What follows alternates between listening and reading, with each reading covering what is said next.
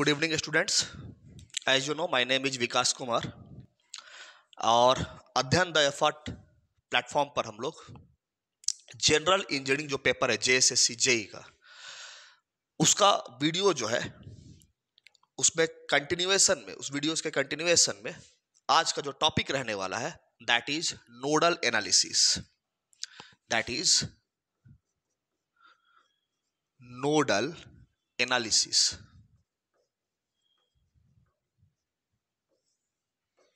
ठीक है?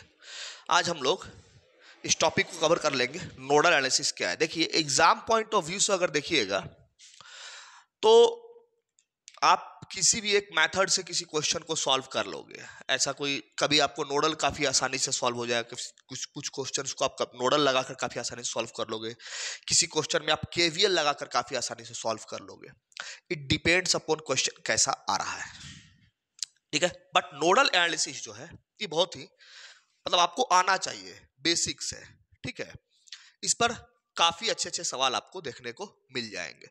तो आज तो हम लोग इस, ये कहता क्या है, ठीक है? वो देखेंगे और एक प्रॉब्लम सॉल्व करेंगे। उसमें नोडल एनालिसिस को कैसे हम लोग टैकल करते हैं, इस चीज़ को हम लोग देखेंगे, ठीक है? चलिए तो नोडल एनालिसिस को अगर देखिए, बुक में आपको काफ़ी बहुत सारा स्टेटमेंट देखने को मिल जाएगा। In a simple layman language में अगर सिंपल सी बात करें तो this is this is an extension of KCL ठीक है? बस केसीएल का एक्सटेंशन है ये। क्या है कि हम आपको पहले ही बताए थे केसीएल में आपको बहुत टफ क्वेश्चंस नहीं पूछे जाएँगे। थोड़ा सा अगर क्वेश्चन के लेवल को ट्विस्ट करना है, थोड़ा सा उसको लेवल को बढ़ाना है तो वो नोडल में शिफ्ट हो जाएगा नोडल से पूछ लेगा आपको सवाल को, ठीक है? तो बस ये केसीएल जो है वो नोडल का क्या है? एक्सटेंशन होता है, ठीक है? देखते हैं। इसमें नोडल एनालिसिस अगर आपको लगाना है, ठीक है? तो इसमें आपको ऐसे नोड को देखना रहता है, जो कि जंक्शन हो। अगर जिन स्टूडेंट्स का नोड जंक्शन या मेस, लूप, ये सब कॉन्सेप्ट गड़बड़ है तो काइंडली वो प्रीवियस वीडियो उसको देख ले जाकर, जहाँ पर कि हम अच्छे से समझाए हुए हैं। ठीक है? तो ये जो है it applies on such node such nodes which are junction ठीक है?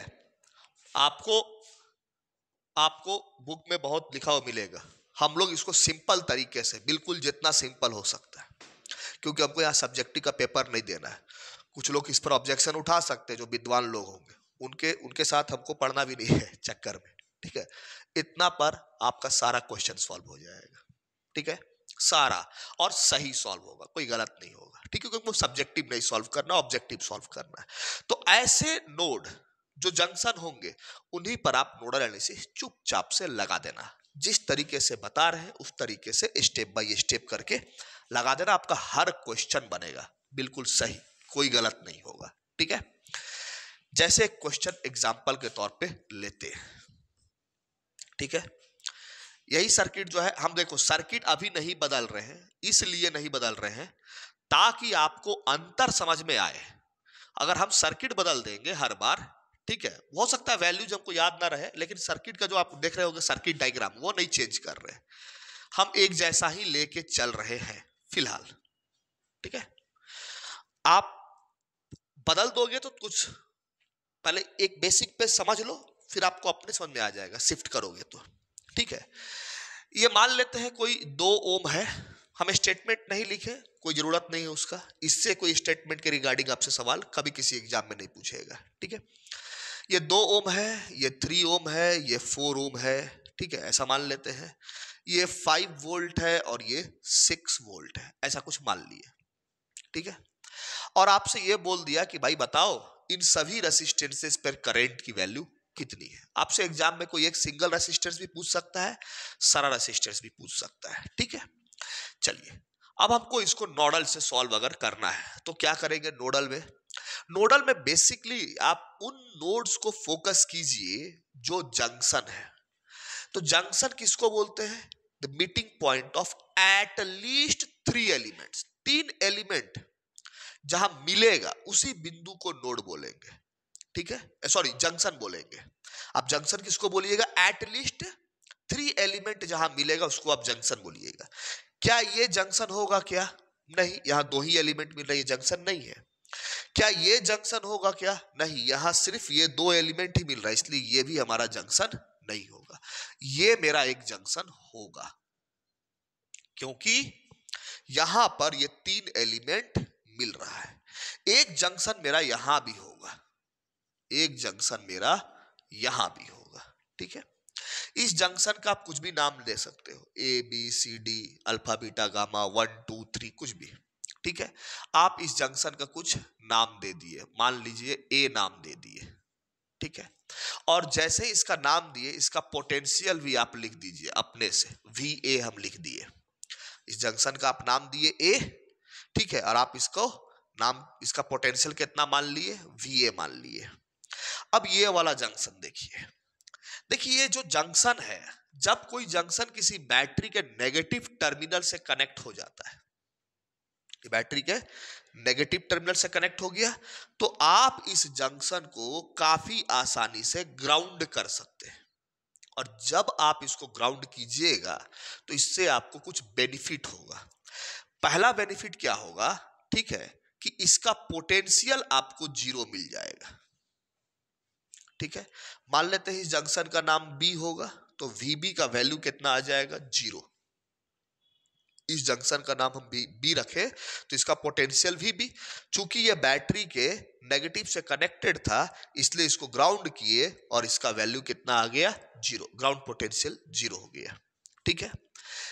एक बार इतना काम हो गया, उसके बाद आसानी से ये सॉल्व हो जाना है। आप इसमें देखिए दो दो सोर्स दे रखा है। हम पहले ही बोले घबराना नहीं है, दो सोर्स हो तीन सोर्स हो दस सोर्स हो हज़ारों सोर्स हो उससे अपने को क्या लेना देना? किसी एक सोर्स जो हमको पसंद आ जाए दोनों में से, उसी से करंट निकालेंगे और पूरे सर्किट में दौड़ा देंगे, ठीक है?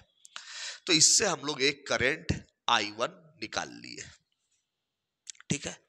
देखिए, इसमें बहुत सारे टेक्निक्स हो सकते हैं। कई बार आसानी पड़ता है कि दो दो सर्किट दोनों लोड से दोनों सोर्स से आप करंट निकाल लीजिए, वो भी आसानी पड़ता है। लेकिन बिगिनिंग में, शुरुआती में, जो सिविल और मैकेनिकल वाले खासतौर से बच्चे हैं, वो क्या करेंगे? पहले किसी एक सोर्स से करंट निकालेंगे। ठीक है? अब थोड़ा सा इसको ध्यान देना है। ये करंट यहाँ चलेगा नोड ए पर आएगा, इसको दो रास्ता दिख जाएगा। एक रास्ता को वो बोलेगा कि, सर, इधर आई टू है। अब देखो, अब तुमको बताए हुए हैं कि अननोन नहीं बढ़ाना। तो उस लॉजिक के हिसाब से तुम इधर लिखोगे I one minus I two but wait wait ये नोडल एनालिसिस है, इसमें अननोन बढ़ाने से ही तुमको फ़ायदा हो जाएगा, क्योंकि कंफ्यूजन नहीं होगा। ऐसा नहीं, ऐसे लिखेंगे तो आसानी से लिख सकते हैं, लेकिन कंफ्यूजन हो जाएगा। तुम लोग काट दोगे। ठीक है? तो कंफ्यूजन नहीं होगा। कंफ्यूजन से बचने के लिए यहाँ पर अननोन बढ़ा लेते हैं, क्योंकि इसमें करेंट का तो करेंट के टर्म में हमारा आने वाला नहीं है। बताए ना एक्सटेंशन ऑफ़ केसीएल समझाएँगे उस चीज़ को। हम एक आई थ्री ले लिए, ठीक है? ऐसा करने से हमारा काम बहुत आसान हो जाएगा। इसमें यहाँ पर कुछ साइन वगैरह अलॉट करने की ज़रूरत नहीं है। बिना साइन अलॉट किए, बिना साइन असाइन किए ही तुम्हारा काम हो जाएगा। तुमको करना क्या है? केसीएल लिखना है। किस पर? केसीएल एट नोड ए पर। क्योंकि ये ग्राउंड नहीं है, ये तो ग्राउंड है, इस पे नहीं लिखेंगे, इस पे लिखेंगे। नोड ए पर तुम केसीएल लिखोगे। अब नोड ए पर इनकमिंग करंट कौन सा है? तो ये आई वन आ रहा है और नोड ए से ये दोनों करंट जा रहा है आई टू आई थ्री तो तुम्हारा इनकमिंग करंट हो गया आई वन और आउट गोइंग करेंट हो गया I two plus I three ऐसे आउटगोइंग करंट हो गया। देखो, अगर हम ये आई थ्री की जगह तुम लिख देता I one minus I two ठीक है? ऐसा तुम अगर कुछ आई थ्री की जगह क्या लिख देता I one minus I two ऐसा लिखता तो फिर तुम लोग यहाँ काटपीट शुरू कर देता। वो काटना नहीं था। बोलो, सर, काटे क्यों नहीं? ठीक है हमको काटना नहीं है, क्योंकि एक्सटेंशन करना है हमको, ठीक है? इस केसीएल यहाँ तक तो केसीएल लगा, इसको हम लोग हटाते इस फॉर्म में हम लोग नहीं लिखेंगे, ठीक है? यहाँ तक तो अपना केसीएल हो गया। अब एक्सटेंशन का बात कहाँ आया? देखो, जब भी तुमको करंट मिलेगा तो ओम्स लॉ हम पढ़, हम लोग पढ़े हैं बेसिक सर्किट में V is equal to I in to R होता है। तो any current can be written in the form of V by R voltage difference divide by resistance इस फॉर्म में हम लोग किसी करंट को रिप्रेजेंट कर सकते हैं। बस आपको इस केसीएल को इसी फॉर्म में रिप्रेजेंट कर देना है। काम बन गया। ठीक है? आई वन जो है इसको कैसे रिप्रेजेंट करेंगे? तो देखिए आई वन कहाँ से कहाँ जा रहा है? पाँच वोल्ट से इस नोड ए पर जा रहा है। और यहाँ का पोटेंशियल कितना है? वी ए है। तो करेंट हमेशा हायर पोटेंशियल से लोअर पोटेंशियल की ओर फ्लो होता है। मतलब पाँच वोल्ट और नोड ए के बीच जो पोटेंशियल डिफरेंस होगा। तो पाँच वोल्ट और नोड ए के बीच पोटेंशियल डिफरेंस कैसे लिखेंगे? तो हमारा फाइव माइनस वी ए भी हो सकता है वी ए माइनस फाइव भी हो सकता है, समझेंगे? हम फाइव माइनस वी ए लिखे ये सही होगा या वी ए माइनस फाइव लिखे ये सही होगा? तो इस लड़ाई झंझट में नहीं पढ़ के एक सिंपल सा कॉन्सेप्ट ध्यान में रखेंगे कि करंट हमेशा हायर पोटेंशियल से लोअर पोटेंशियल की ओर फ्लो करता है। अगर ये करंट पाँच वोल्ट बैटरी से निकल के इस नोड ए की ओर जा रहा है तो इसका पोटेंशियल ज़्यादा होगा, इसका पोटेंशियल कम होगा। इसका मतलब हम लोग फाइव माइनस वी ए लिखेंगे। तो ये हो गया five minus V A voltage लिख दिए। डिवाइड बाय रेसिस्टेंस इस पाथ में रेसिस्टेंस कितना मिला? टू ओम तो टू लिख दिए। Is equal to I two देखेंगे। आई टू किधर जा रहा है? तो आई टू इस नोड ए से छह वोल्ट की ओर जा रहा है। ये सब दिमाग नहीं लगाएँगे, सर, इधर पाँच था, इधर छह था तो उधर से आना चाहिए। अगर वो तुम्हारा माना हुआ डायरेक्शन सही रहेगा तो करंट ऑटोमेटिकली पॉजिटिव आएगा। और नहीं सही रहेगा तो करंट नेगेटिव आएगा। बट तुमको मैग्नीट्यूड फोकस करना है, ठीक है? तो प्लस माइनस में क्या आ रहा है? उससे कोई फ़र्क नहीं है। मैग्नीट्यूड पूरे दुनिया में सबका एक जैसा आएगा। ठीक है? तो यहाँ पर क्या है? करेंट ए से सिक्स वोल्ट की ओर जा रहा है। तो इसका मतलब ए क्या हो गया? हायर पोटेंशियल पे। सिक्स क्या हो गया? लोअर पोटेंशियल पे। तो हमारा कितना हो जाएगा? ए का potential V A minus six divided by कितना हो जाएगा? रेसिस्टेंस इस पाथ का थ्री तो थ्री लिख देंगे।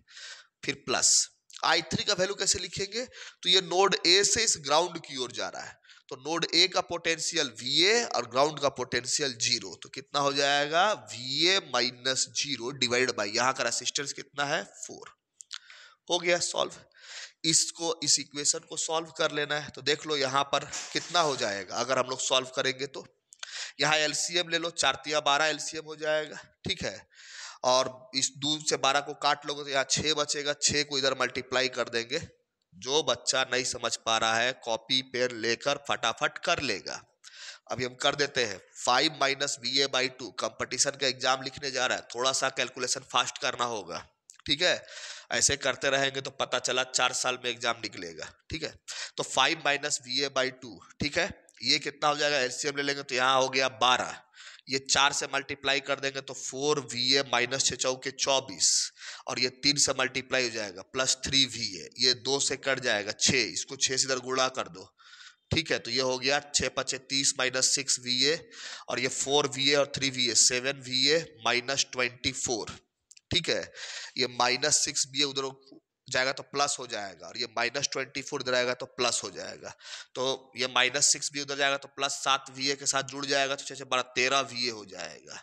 और इधर आएगा तो ये माइनस ट्वेंटी फोर इधर करोगे तो प्लस हो जाएगा तो चौवन हो जाएगा। ठीक है, फिफ्टी फोर। तो वी ए का वैल्यू कितना निकल गया? Fifty four by thirteen. इतना आ गया।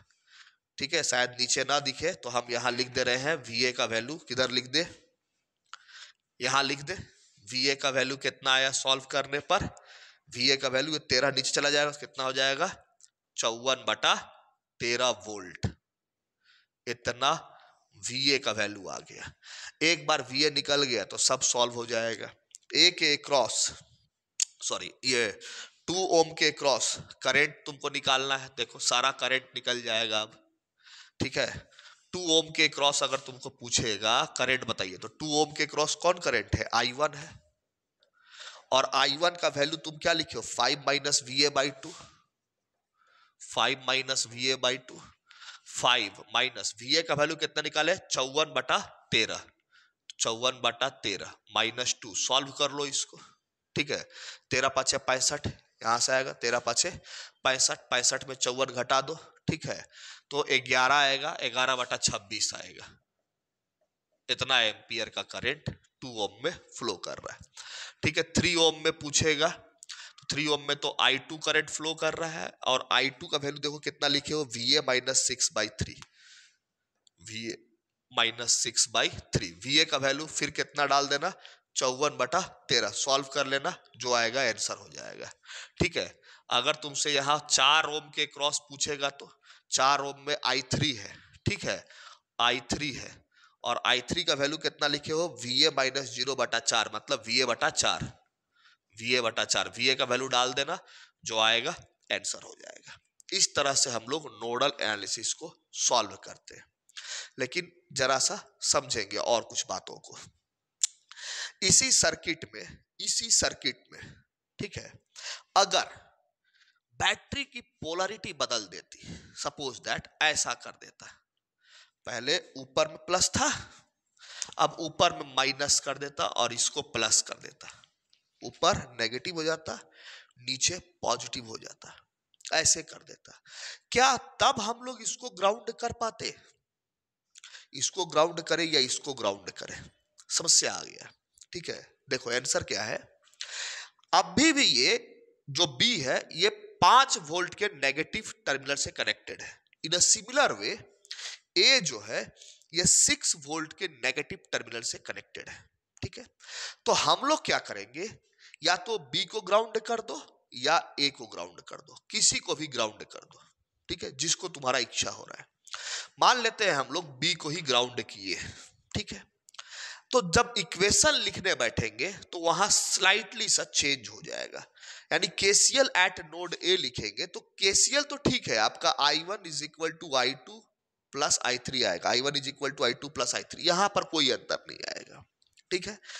आई वन का जब आप वैल्यू लिखिएगा तो five minus V A by two लिखिएगा। ये भी आपका सही है। आई वन में आपका कोई प्रॉब्लम नहीं है। आई वन पाँच वोल्ट से वी ए की ओर जा रहा तो पाँच minus V A divide by two ये सही है। इसमें कोई प्रॉब्लम नहीं आई टू जब आप लिखने जाइएगा, ठीक है?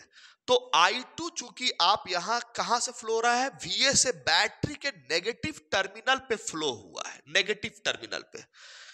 बैटरी का ये करंट कहाँ फ्लो हुआ है? नेगेटिव टर्मिनल पे। दैट्स वाई इस रीजन की वजह से यहाँ पर जब लिखोगे तो वी ए माइनस सिक्स लिखना था। तो यहाँ सिक्स नहीं लिख के माइनस ऑफ़ सिक्स लिख देंगे, ऐसे। बस, इतना ही फ़र्क आएगा। ध्यान दिए। आई टू का आप क्या लिखोगे? A minus six by three होना चाहिए था।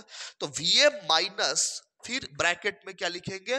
माइनस ऑफ़ सिक्स तो ये माइनस ये माइनस कितना हो जाएगा? प्लस हो जाएगा। माइनस माइनस प्लस तो ये एक्चुअली इक्वेशन कितना हो जाएगा? V A plus six by three हो जाएगा। ठीक है? ये इक्वेशन कितना हो जाएगा?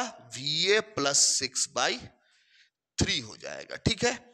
बाकी इक्वेशंस वैसे रहेंगे। वी ए बाई फोर इधर है और ये five minus V A by two है।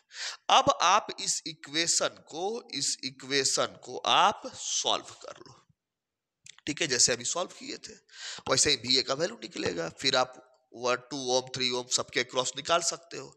बस इस इक्वेशन को सॉल्व करेंगे। ठीक है? जो भी वैल्यू आएगा वी ए का तो जब आप टू ओम के क्रॉस निकालने जाओगे तो आप five minus V A by two जो भी वी ए का वैल्यू आएगा, डाल देना। ज़ाहिर बात है, अब तो यहाँ चेंज हो गया वी ए प्लस सिक्स हो गया तो चौवन बटा तेरह नहीं आएगा, कुछ अलग आएगा। ठीक है, जो भी आएगा, आप यहाँ डाल देना। जब आप थ्री ओम का निकालने जाओगे तो आप क्या लिखोगे? V A minus six by three तो अब लिखाओगे नहीं। क्या लिखोगे? V A plus six by three तो यहाँ वी ए प्लस हो जाएगा सिक्स बाई थ्री जो भी वी ए का वैल्यू कैलकुलेट करके आएगा, उसको यहाँ डाल देना। उस तरह से आप जब फोर ओम के क्रॉस निकालने जाओगे आई थ्री का वैल्यू तो वी ए बाई फोर जो भी वी ए का वैल्यू होगा, डाल देना। तो इस तरह से आप सॉल्व करोगे, ठीक है? इसमें एक प्रॉब्लम जो है, हम करेंट सोर्स का लेकर बताते हैं, ठीक है? एक प्रॉब्लम करेंट सोर्स के लिए, ठीक है? चलो। तो अगर हमारा करेंट सोर्स आ जाए, तब किस तरह से टैकल करेंगे? करेंट सोर्स आ जाए तो नोडल लगाने में और मज़ा आता है। काफ़ी आसानी से सॉल्व हो जाता है करेंट सोर्स के केस में, ठीक है? काफ़ी आसानी से सॉल्व हो जाएगा, ठीक? जैसे कि हम लोग एक एग्जांपल लेते हैं। सर्किट ऐसा है, कुछ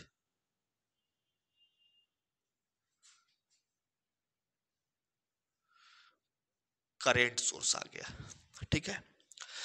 ये दो ओम है, ये थ्री ओम है ये फोर ओम है, ये मान लेते हैं थ्री एम्पियर है, ये कुछ फाइव वोल्ट है। डिज़ाइन सर्किट का पहले जैसा ही बस यहाँ एक करेंट सोर्स आ गया। अब कैसे सॉल्व करेंगे? इनमें आपको करेंट बताना है। तो पहले जैसा ही उन जंक्शन को, उन नोड को चुनेंगे जो जंक्शन है। ये आपका जंक्शन है, ठीक है?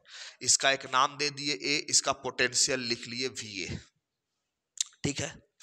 ये वाला जो जंक्शन है, ये बैटरी के नेगेटिव टर्मिनल से जुड़ा हुआ है, इसको ग्राउंड कर देंगे। बी नाम दे दिए वीबी का वैल्यू ज़ीरो हो गया। सिंपल अब यहाँ से करंट दौड़ाएँगे। आई या आई वन ले लो। ठीक है?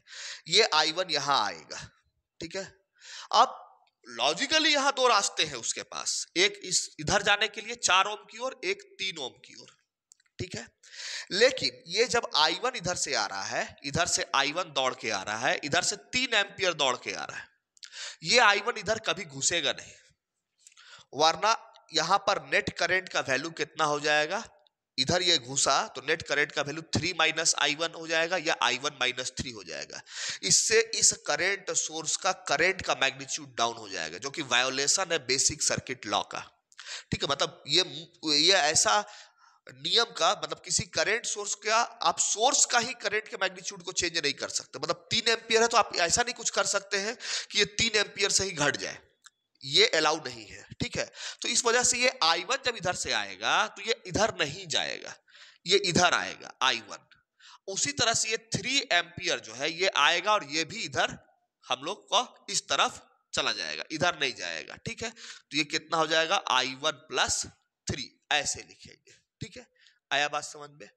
तो ये आई वन प्लस जो थ्री है, ये जो आपका आ रहा है, इधर तो थ्री एम्पियर है, इधर से तो थ्री एम्पियर आ रहा है। इसको आप एक अननोन आई टू मान लीजिए। हम पहले ही बोले करेंट में अननोन बढ़ाने से कोई फ़र्क नहीं पड़ेगा। और आप अब लिख लीजिए एट नोड ए यहाँ केसीएल लगा दीजिए। कहाँ पर? एट नोड ए पर। तो ए पर इनकमिंग करंट आई वन हो गया। और कोई इनकमिंग करंट है तो है ये तीन एम्पियर का करंट इधर से आ रहा है तो ये भी इनकमिंग करंट हो गया। देख लो कंफ्यूजन ना हो, इसलिए आई वन प्लस थ्री को हम किससे रिप्लेस कर दिए? आई टू से रिप्लेस कर दिए, ताकि कंफ्यूजन ना हो। ठीक है? तो हम लोग, ये वाला आउटगोइंग करंट हो गया। आउटगोइंग करंट मेरा कितना हो गया? आई टू हो गया। ठीक है? अब हम लोग चेंज करेंगे। तो यहाँ पर ये जो आई वन है, ये पाँच वोल्ट से इस वी की ओर जा रहा है। ठीक है तो मेरा पाँच माइनस वीए हो जाएगा डिवाइड बाय रेसिस्टेंस कितना है? टू जब करेंट सोर्स रहता है तो उसके करेंट को चेंज नहीं करते हैं एज इट इज़ लिख देते हैं। जैसे वोल्टेज सोर्स में पोटेंशियल डिफरेंस जब लिखते तो वोल्टेज का खुद ही लिख देते हैं केवीएल हो या मेस हो।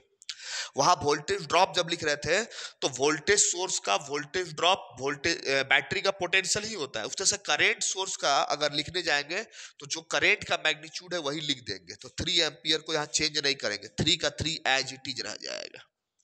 फिर आई टू के लिए कितना हो जाएगा? तो ये वी ए से ग्राउंड पोटेंशियल की ओर जा रहा है। तो ये हाइयर पोटेंशियल पे होगा, ये लोअर पे होगा तो V A minus zero V A minus zero by कितना हो गया रेसिस्टेंस थ्री अब यहाँ से वी ए को आप निकाल लो, ठीक है? तो आपका five minus V A plus ये हो गया तीन दूनी छ इसको आप पूरे को तीन से गुणे कर दो, ये वाला, और ये हो जाएगा आपका टू वी ए सॉल्व कर लेंगे तो ये हो गया आपका पंद्रह minus three V A plus eighteen is equal to two V A ये माइनस थ्री वी उधर जाएगा तो प्लस थ्री वी ए हो जाएगा, थ्री वी और टू वी कितना हो जाएगा? फाइव वी ठीक है, ये पंद्रह पंद्रह, तीस। ठीक है, और दो, बत्तीस। पंद्रह, सोलह, सत्रह, तीन, न, तैतीस। ठीक है तो वी का वैल्यू आपका कितना आया? Thirty three by five volt आ गया सिंपल है। अब आप जिसमें करंट पूछेगा, मान लेते टू ओम में पूछा तो टू ओम में करंट कौन सा है? आई वन है। और आई वन का वैल्यू कितना लिखो? Five minus V A by two five minus V A by two V A का जो वैल्यू आ रहा है, तैतीस बटा पाँच, यहाँ डाल दो सॉल्व कर लो आंसर आ जाएगा। तुमसे थ्री ओम में पूछ दिया। थ्री ओम में। तो आई टू है, और आई टू का वैल्यू कितना लिखे हो? आई टू का value V A minus zero by बटा थ्री तो वी ए माइनस ज़ीरो बटा थ्री वी ए का वैल्यू जो भी है, तैतीस बटा पाँच, यहाँ डाल दो। सॉल्व कर लो, हो जाएगा। तुमसे चार ओम में पूछ दिया। अरे भाई, चार ओम में पूछ दिया तो सॉल्व करने की क्या ज़रूरत है? चार ओम में करंट तो तीन एम्पियर फ्लो कर रहा है, देख लो। यही करंट फ्लो कर रहा है तो इसका तो सीधे तीन एम्पियर आंसर लिख दोगे आंसर हो गया। ऐसा भी क्वेश्चन कई बार पूछ लेता है, ठीक है? तो this is your current source problem कुछ और प्रॉब्लम लोग जब एमसीक्यूज देखेंगे तो उसमें हम जैसा भी रहेगा, और प्रॉब्लम को टैकल कर लेंगे, ठीक है? तो आप लोग से फिर रिक्वेस्ट है। जो लोग नए हैं चैनल को सब्सक्राइब कीजिए, ठीक है? और ज़्यादा ज़्यादा शेयर कीजिए, ठीक है? ये आपका अपना यूट्यूब चैनल है, अध्ययन द एफर्ट आप लोग अच्छे से तैयारी कीजिए। Till then thank you very much